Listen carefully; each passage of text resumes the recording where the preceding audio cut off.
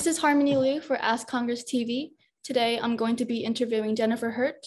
She is a professor of Christian ethics at the Yale University Divinity School.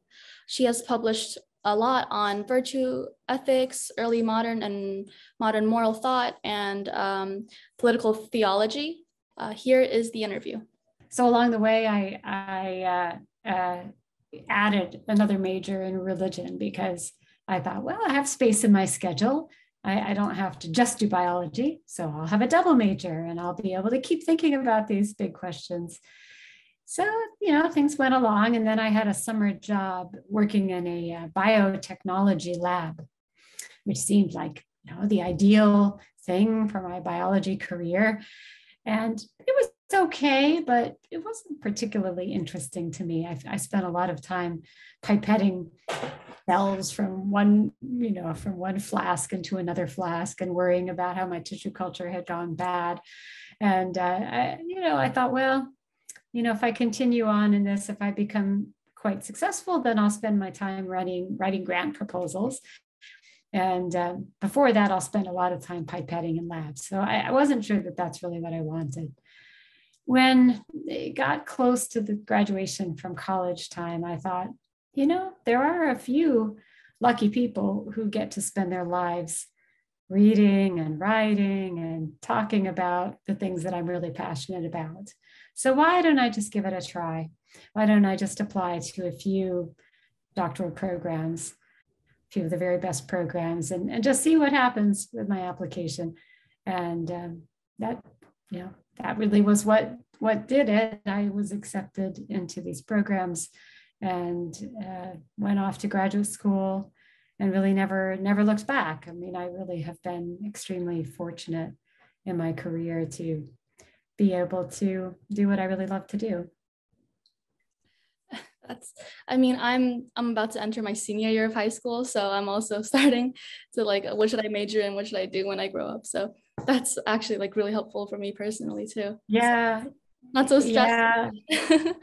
I mean, every, you know, every experience that you have, you learn, whether it's good or bad, you just want to reflect on it. And what do you learn about yourself from it? Right? What you enjoy, what really, what really excites you and what you're good at, right? You also want to be, you want to be feeling like you're, you're, you're, you're flourishing in what you're doing. Yeah. Thank you. Uh, next question would be, um, so, religion and philosophy are very complex topics, and many people would have different viewpoints on it. So, I wanted to know how you would navigate this field when it involves uh, so much questioning and encountering many different people with different uh, opinions than you. Yeah, I mean, that's a great question. So, it's certainly the case that I'm in a field where there aren't clear factual answers to questions. Uh, and so some people just don't enjoy that field because they really want to have black and white answers to things. Uh, but that's part of what attracted me to it was that there's there's space to keep reflecting and that there are a lot of different ways one can think about these questions. Fundamentally, I think it's really a matter of, of, of uh, approaching everyone and everyone's um, convictions in a respectful way understanding that we're all shaped by the context that we inhabit, the relationships that we've had. And those are, of course, going to have a really fundamental impact on what we believe about some of these questions where we can't just run an experiment and get an answer. Uh, and I think if you approach um, approach other people with that that openness and that curiosity and that respect, then what you find is, first of all, you learn a lot about them. You also learn a lot about yourself it clarifies your own convictions when you hear how others think about things. And I, I, I think I got a, a, lot of practice at this way of thinking because of the way that I grew up, because I, I grew up in, in overseas um, in the Philippines. My family was living in an international scientific community, people who were working in rice research.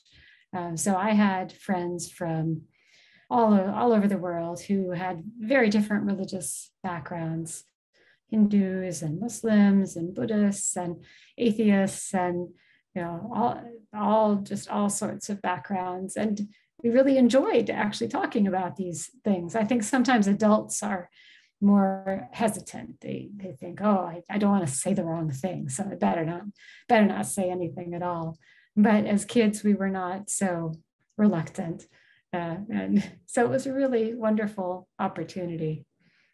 Do you find that like um, you sometimes find that like your opinion like or your opinion is changed by others or things like that? Maybe you like learned a lot to like accept different viewpoints. Well, yes and no. I mean, I think more often I have the experience of appreciating my own tradition more deeply but also not not just because i think oh they're wrong and i'm right but i but i see deep deep um, resonances with the way that other traditions might might think about a question um, but i think where i certainly have grown from where i started as a child i mean there was a time when i thought well if people don't agree with me they're going to hell. And i i don't have any such view now. Um, and that of course is much easier. I think if if you if you do think that it's going to be much harder to approach other people with a you know with an open mind. Yeah.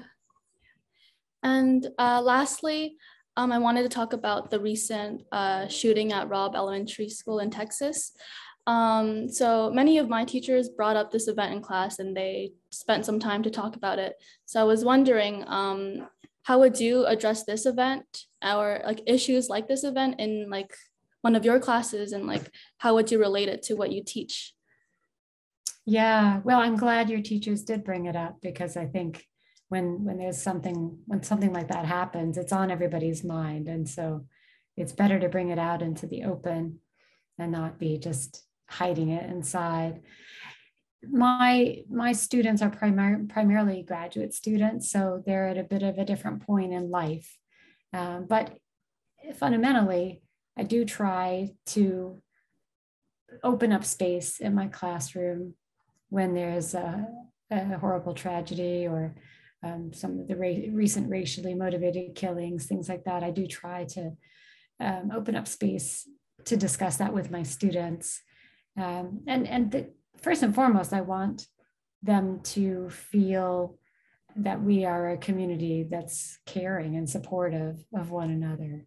So different things are traumatizing for different people, but want to make sure that everybody, every student in the class is feeling feeling supported. That can be tricky because sometimes there's a an event that takes place and it doesn't get a lot of media attention, but it's affecting somebody very deeply.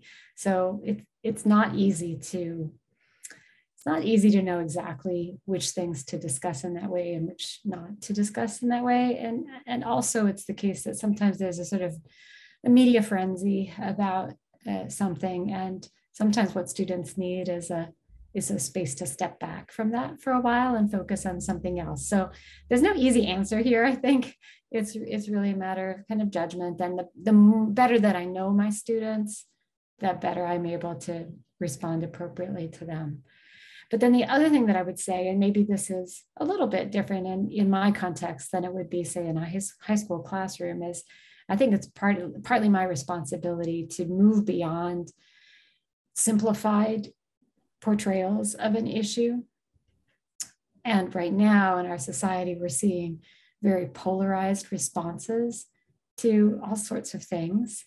Um, and I would hope that the university classroom can be a space where we we don't see it in such a polarized way, and we can try to understand what what is it that is leading people to see an issue in one way. Is you know some people look at the Robb Elementary shooting and they think it's a mental health issue, or it's an issue about school security, or it's an issue about the First Amendment, Second Amendment, or it's an issue about um, not enough gun gun control, easy access to firearms. Uh, these are all, all of them in some way um, efforts to simplify a very complex set of issues so that we can come to terms with it in some way and keep going.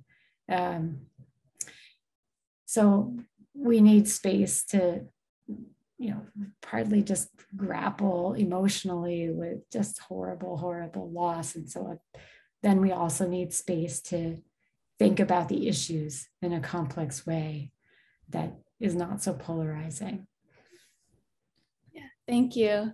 Um, that's all the questions that I have for you. Uh, again, thank you so much for um, lending me your time and teaching me more just about, I guess, life in general. Um, yeah. It was great to meet you, Harmony. So you're in your final year? Oh, yeah, I'm about to be. okay. So that's a scary time. It is, yeah. Yeah. Have you decided what where you're going to apply to college? I mean, I guess I have a few uh, schools in mind.